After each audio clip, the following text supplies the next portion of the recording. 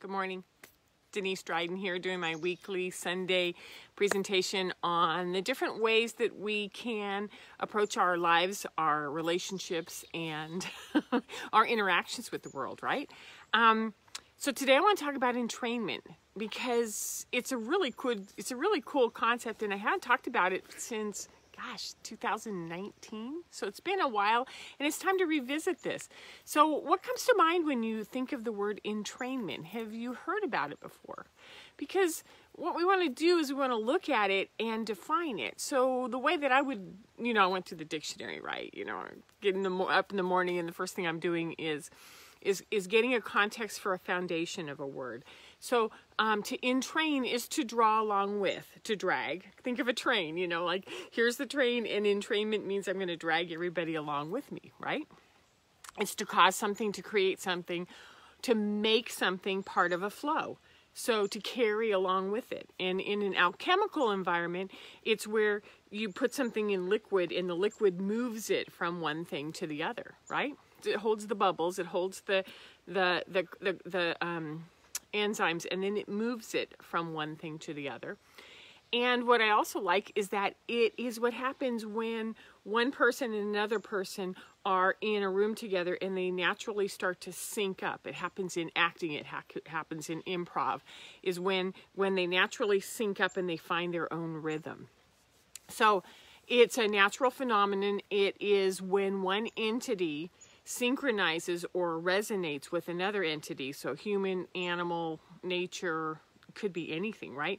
Starts to sort of fall in sync and responds to the most powerful vibration. It that's the most important part is it responds to the most powerful vibration. So when we have this ability to synchronize with one another, um, there's some really interesting things that happen. Like um, there's this chiropractor in Kalispell, Montana, who has a treatment room with four beds. And he brings four clients in at one time, and then he works on them individually. And what happens is whatever he's working work he's doing on that one patient is also being done for the other three. So they get sort of four for one treatment while he's entraining in his office. So how do we bring this into something that you can do, something that we want to be aware of, and and and and sort of look at that you have the the ability, you have the absolute ability to influence, to calm, to hold, and to stretch beyond yourself. This is the coolest part, right? So if we can entrain, and we know what entrainment is, um, um, let let's go through that. That's what the rest of this video is about. Is what do we do? How do we how do we entrain? And what's the most important parts to think about? So in my previous videos over the last um, year in 2020, I focused on how to stay grounded how to breathe, how to get out of, how to recognize when you're triggered and what to do about that.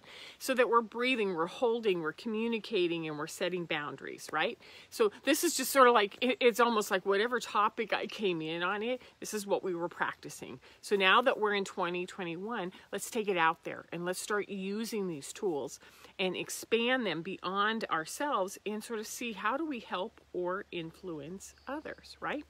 So the most important thing, first and foremost, is you, as a centered, grounded human being, have a lot to offer. You are the pace setter. You are the energy that everything else can sync up with. That's so cool. So, if we are this powerful, also what comes with it is the, that that when that when something is in power, there's also responsibility.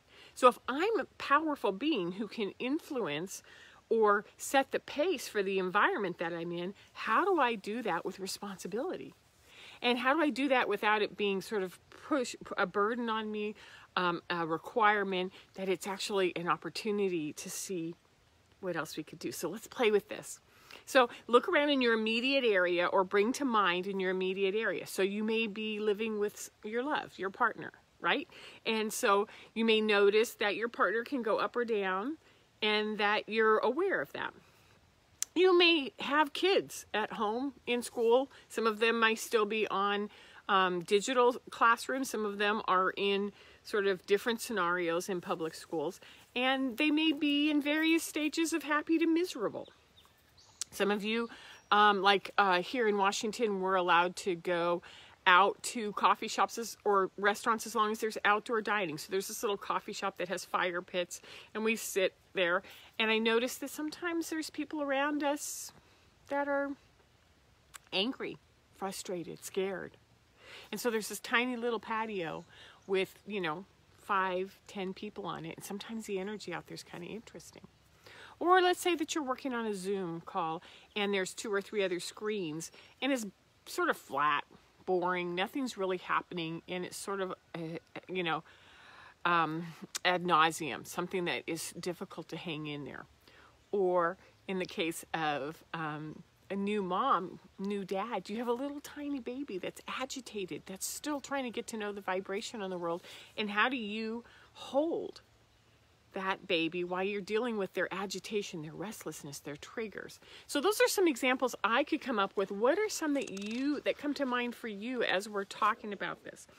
Now, um, before I go into the tools, what I want to do is that I moved outside today because I could hear the birds. But more than that, there's this little pond behind me, and we've had so much rain that it's now turned into this babbling brook. So you can just hear the constant beautiful sound of running water. It doesn't have an attachment, just keeps moving as it goes along. So notice that there's that sound behind me as I'm talking, okay? So first and foremost, I want you to do this with me. So first, um, observe, notice, look around your room. Look around the area where you're at. Get a picture in your mind. Get a feeling in your body. What's going on? What do you notice? Okay? So we sort of like expand ourselves and we start to pick up on what's going on around us.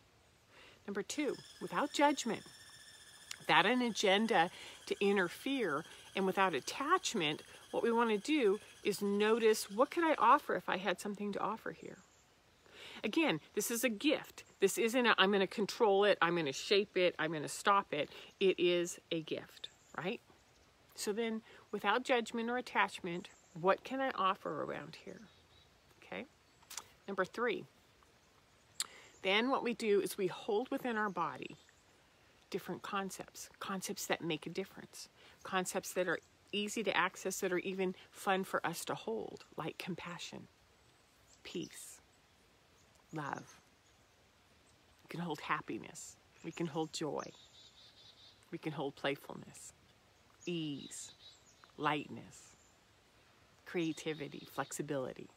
So hold on to that energy of something that you can hold in your body, right? So bring that in. So for me, I'm just going to hold peace right now because between the birds and the they're mostly robins are so busy, and this babbling creek and the fact that I'm outside and it's not pouring rain, there's peace, right?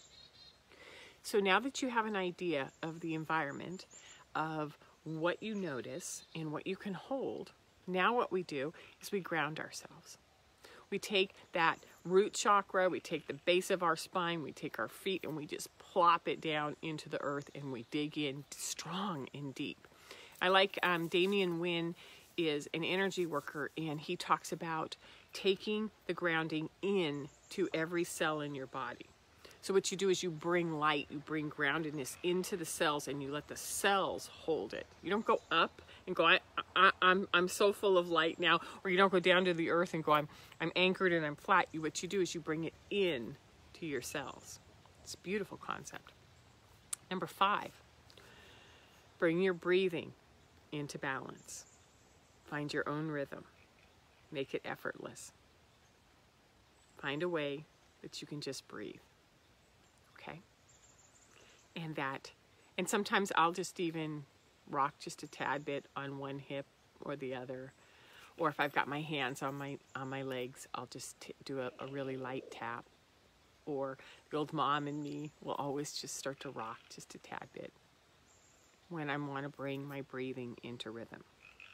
Okay, now we have a frog going off in the background. It's so cool. Number six, without being attached to the concept that you're holding, Focus on what's out there that's bigger than you and spread it when you exhale. So you breathe in, you spread it out, peace. You sustain yourself, you spread peace out. And you spread it out with, again, without attachment. Doesn't matter where it lands. Don't care. Sitting at the dinner table and the kids are just nasty and, or I can't get my partner to look up from their screen, right? You know, and all of a sudden you're just like, just hold peace, spread it out if you're breathing.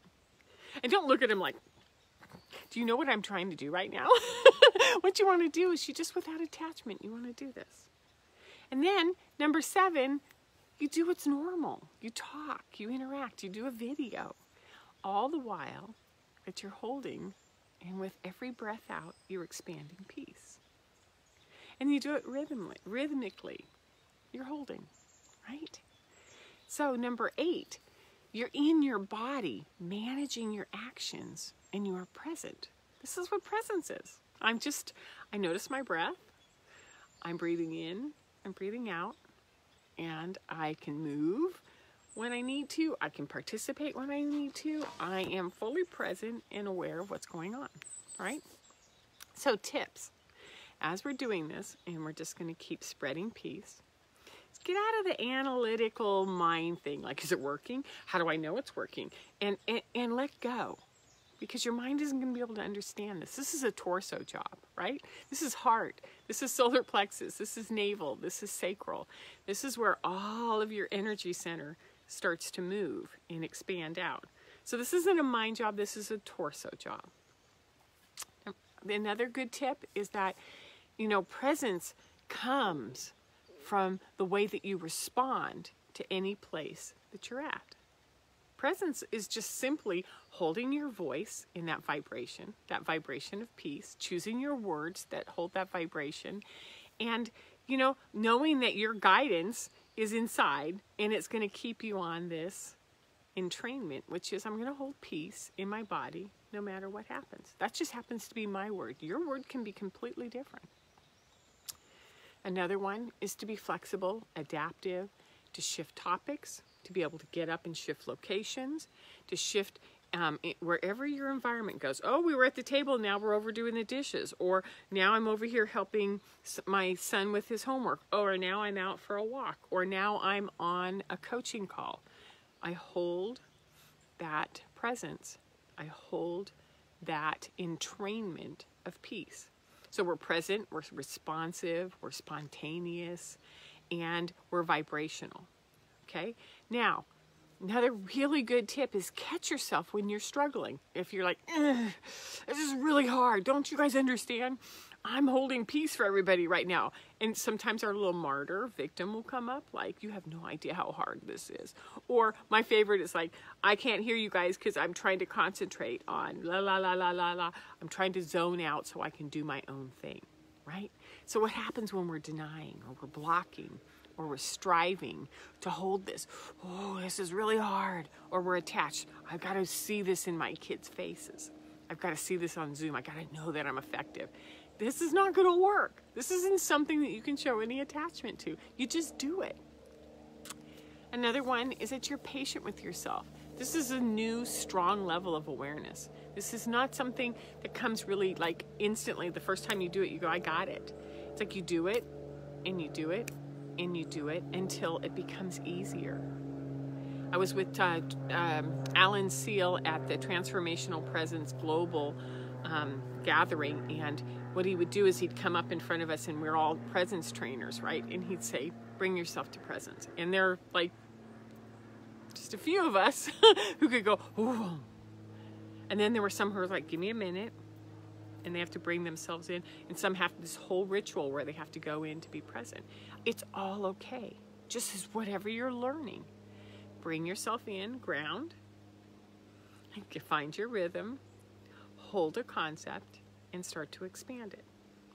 So also I find that imagery helps. Um, for me, I'm a triple water sign, and I have tried to ground for decades, and it's kind of like, I am grounding. Don't you understand? It was, I wasn't. I thought I was grounding, but I wasn't.